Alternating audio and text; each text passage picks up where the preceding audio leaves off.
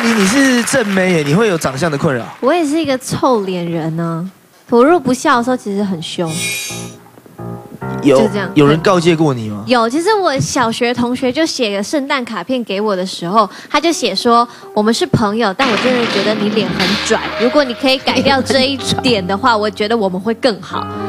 对他就在写给我的圣诞卡片中非常直白的的的写这件事情，虽然已经是十三年前的事情，但是我依然永远记得。对的卡片内容，然后这是十三年前的事，但近期还有发生一件事，大概是三个月前吧。然后那一天我就跟我的好朋友，我们两个人要去屈臣氏买胃药，因为他胃很痛。嗯然后我们又赶着去上舞蹈课，所以就是路上都很挤这样子。然后我们刚好遇到那一间药妆店在当日的日结时间，因为我不晓得那个药妆店有日结时间，他们日结是要十五分钟都不能够结账的，所以他们就会让客人都一直在他们的柜台前面排队排队等十五分钟，他们日结完。然后因为我不晓得有这个状况，所以我站在那边等的时候，我的脸就是很着急，因为我要迟到了，然后我上课来不及，我朋友又胃痛买不到胃药，所以我就一直在那边皱眉，然后一直张望，想说为什么没有人来帮我们结账？但是我是没有去跟店员理论说为什么要让我们等这么久，或者是有去跟任何人讲这件事情，我都没有。然后我就离开了，因为我实在等不及了，我就去别的药店买胃药。结果没有想到，我回家以后，我的那个 Instagram 上面就有人留言说：“我是某某药妆店的店员，你刚刚脸臭的样子真的很令人厌恶。”然后下面就有留言说：“你脸那么臭，真想把你这副拽样拍下来给你的粉丝看。”然后是有多臭啊？对啊，这种坏、真的真的还就就是刚刚这样，哦，那是真的蛮臭这个真的会生气。对真的会令人生气。真的十五分对，钟等不是，但是对，而且我要迟到，但是我没有去骂他们，我也不觉得是他们的问题。结果我就在网络上发了一篇澄清，说我真的只是我很着急这样子。结果那一间药妆店的店员跑来我这边跟我私讯留言说，对不起，不是他们，那两个账号根本不是他们店里面的店员，是路人看到然后去留言，假装他们是店员，然后这是无聊透了，真的非常无聊不是，而且最重要的是，我真心的觉得你完全没有错，在于是摆臭脸，如果还不臭。那摆什么臭脸嘞？什么意思？难道不是吗？当你很不高兴的摆了一个臭脸，如果你还是这样，你就是个白痴吧。也不是啊，这个其实像像，因为你是如果你没表情会看起来臭脸，可是因为像我们是因为我们常在电视上面，然后我们都是以笑脸示人，应该在讲话。那有些时候下班其实有坐公车听，你只你只是没表情，突然听到，对很累然后人家就人家就私讯说说你啊你心情不好吗？你在生气吗？对，可是其实也没有。所以绝对不能摆臭脸，物以类聚。没有摆，他自然就 摆臭脸就会遇到臭人，就会被臭批评。哦我之前我我之前上电视，我喜欢这边笑，有一个往生的艺人后台问我说：“哎，没事，你干嘛笑？”我说：“人家观众看电开电视看我，一定要看我哭吗？你要哭你就哭嘛。”后来往生了那你讲。这段话这么气要干嘛？不是，不过是个观众，那么气干嘛？不要气，不要气，大气一点。我们因为他往生我才能够生气嘛而且人家往生了，你就算了嘛，算了算了了。算了，这个就是上电视难得五分钟三分钟，带给观众一个快乐你。就知道他往生了，不会在网络留言，你就敢讲了，对不对？他会托梦坏。拜托，这个这个负面能量嫌脸臭吗？对，但我的状况真的就是因为我平常在节目上面的形象就是嘻嘻哈哈，对然后每天都很开心。哪有你在形象电视上就一直哭啊？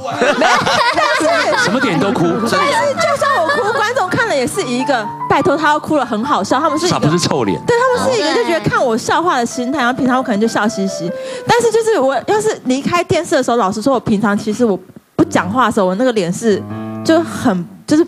就是臭啦，就我不讲话时，人家觉得说，哎，你在那边凶什么？然后我之前啊，就是跟我姐的朋友，就是他们一些男生朋友，就出去吃饭。但老实说，那几个男生我真的也不认识。那所以呢，我就是等于就比较没有办法像电视上那么热络，可能又跟他们就是开开玩笑或什么的，我就脸很臭，然后就在那边吃我的饭。后面我姐就说：“你脸为什么要那么臭啊？是人家欠你钱是不是？”我说：“没有，只是我也不知道跟他聊什么啊，为什么我要就是笑嘻嘻在那边跟他们吃饭？他们觉得我很拽。然后后面就是其实很多时候我也是像我现在啊，我可能像是坐捷运或者是坐公车，我一定都戴口罩，因为通常很累，脸就这样。对，就是没表情而已然。后别人想说你在那你口罩是戴那种有笑一个笑的嘴巴那种？哎，都是都是一样，都是口罩，至少人家看不到你的表情，就不会觉得你不高兴。不是好像对艺人的表情都有特殊的要求？对对对，对，就觉得艺人其实不能不是一般人，你不可以生病，不可以不舒服，不可以心情不好。我随时看到你都应该是我在荧幕上看到你的那个样子。对对，就是要异于常人呐。那还有就是说，其实嗯，有些人的天生就是笑脸，他其实不笑也像在笑。比如说萧万长，永远看他是笑脸，微笑，对对对，是叫微笑老萧嘛，他的脸就是一个笑脸的，因为他的嘴角就上扬，比较扬。可是你当了名人或是公众人物，观众都会就会对你有一个呃既定印象嘛。对，还有就我到建议你，你就把嘴角这边缝缝起来，往上缝，有吗？你以为在演蝙蝠侠吗？就让永永远是女生。不要，我只要把口红往上画就好。可以可以，很好。所以我我经常也是啊，因为我也是表情严肃的人。我对对，你没有表情的时候很臭。我我只是没有表情的时候，只是没表情。我只是没有表情，可是很多人都会很害怕，然后就以为我在生气。嗯对，会会会。对，包含我自己的小孩以前问我说：“妈妈，你在生气吗？”我说：“没有，我只是没有笑。”累了，对，没有笑就是生气吗？我说：“不是，我只是没有表情，我现在没有什么情绪。”OK。本来没本来不气，后来气了。问到气啊，真的被问到生气，真的会很烦。没有真的啊，有时候，所以有时候那个我很感谢导播、摄影师，有时候都很帮忙，因为我就没表情，真的拍起来就很难看，就有在生气那样。看起来真的蛮气的，我好害怕。对啊，觉得觉得镜头拉开的时候，你应该坐在一台摩托车上了。这样太帅。那我如果真的是听不下去的话，哇，那个表情就很明显，就会很更更明显。对对，更臭就对了。就就是不笑就臭脸，所以我一直想要说，有时候镜头加灯一亮，我现在习惯，你知道吗？已经呃灯一亮就。是啊，这是在工作啊。然后一不亮灯呢，我就不用笑了。然后灯一亮，这其实是有点累，但是好像必须这么做。明明是这么高贵的主持人，变讲的是卖笑的一个工作，是卖笑，就是一个卖笑，就是卖笑。其实人家 always 保持笑了。嗯，我记我我是不分日夜的哎，我连睡觉我都在笑哎。你为什么？你是不是得了什么病？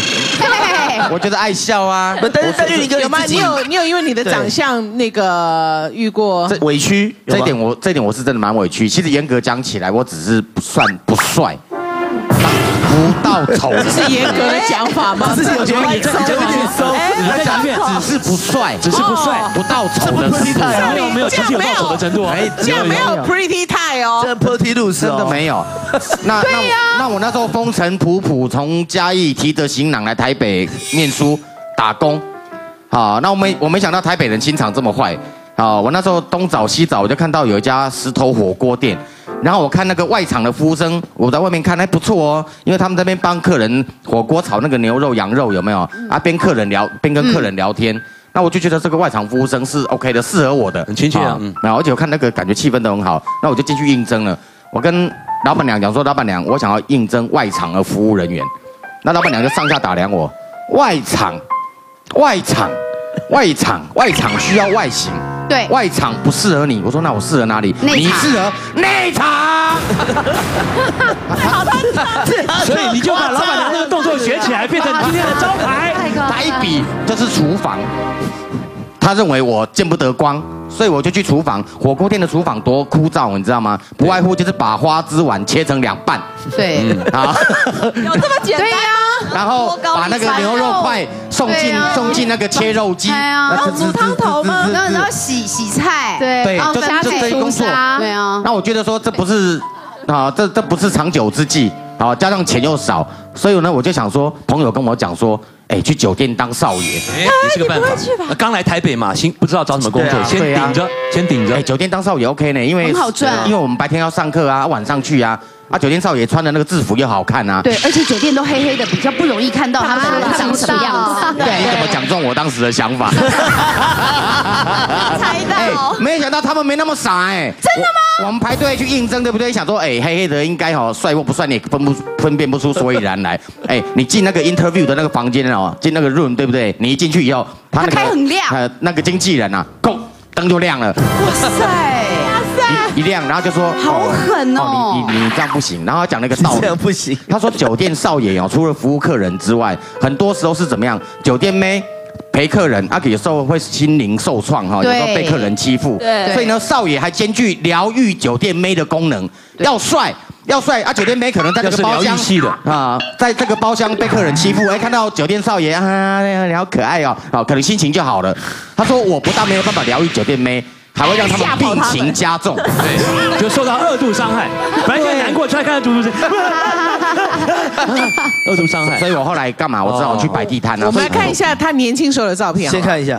哎哎，哇，其实还还 OK 吧？哎，真的，只要把脸遮住，然后那个时候看起来皮肤还不错，只有鼻子跟嘴巴。哎，是人呢。最近他 看起来比较凶。最近网友疯传了一张照片，就是这张照片。他说，那个我不想听。他说我这个脸像彭于晏，有没有？啊？所以他们给我一个封号叫做嘉义彭于晏。听不下去了，你还是去封还陈妍希哎，太好了。因为美人姐最近有一张照片在网络上疯传，被说像陈妍希，你知道吗美人姐当时那个你就没有录取了呗？那个玉玲哥，我们今天帮你完成你当时的梦。就如果你当时如果真的有去上班的话，碰到酒店陈妍希，你会怎么样疗愈她？疗愈她。就美人姐今天是一个这个小姐，我懂了，我懂了。我我们就坐时光机回到回到二十 二十年前，二十年前对，二十年前我青涩的少年，没有问题。酒店陈妍希。妍希，你怎么了？你怎么哭了？被欺负了是吗？不会喝酒，一直被骂。哎呀，不要难过嘛，这个难免的。有一些客人就是坏坏坏，我帮你踩死他们，坏坏坏。不要哭了，我送你一朵花好不好？叶子叶子花。太吓人。